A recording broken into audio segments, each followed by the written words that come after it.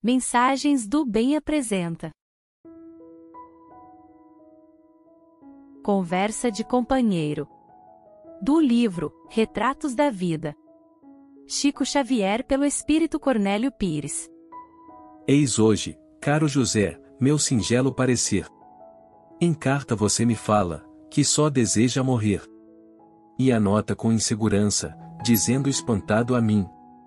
Você me diga, Cornélio, se estou certo agindo assim.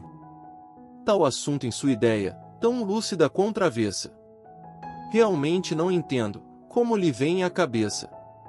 Posso afirmar-lhe, de pronto, na força de nossa fé. Reajuste o próprio passo, não tente a morte José. Quem se esquece de viver, pensando em fim prematuro, acaba sem perceber, caindo em salto no escuro. Observe a natureza, toda a vida se processa. Para serviço no tempo, que não cogita depressa.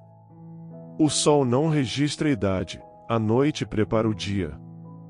O fruto surge na hora, relógio não se abrevia. Não falha a obra de Deus, cuja lei é a perfeição.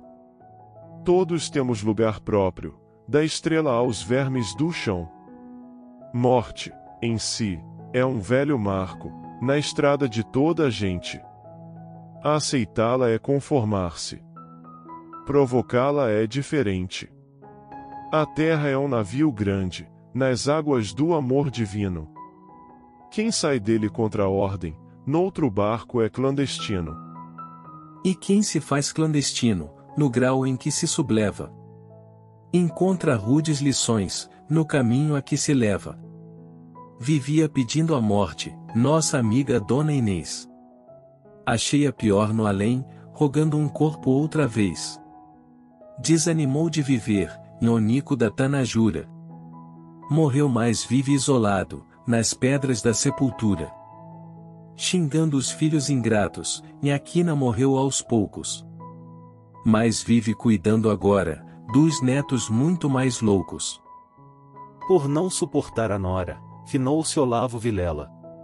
No além não acha serviço, a não ser velar por ela. Em não se ajustando ao genro, morreu Pio Avanhandava. Hoje em dia quer ser filho, do genro que detestava.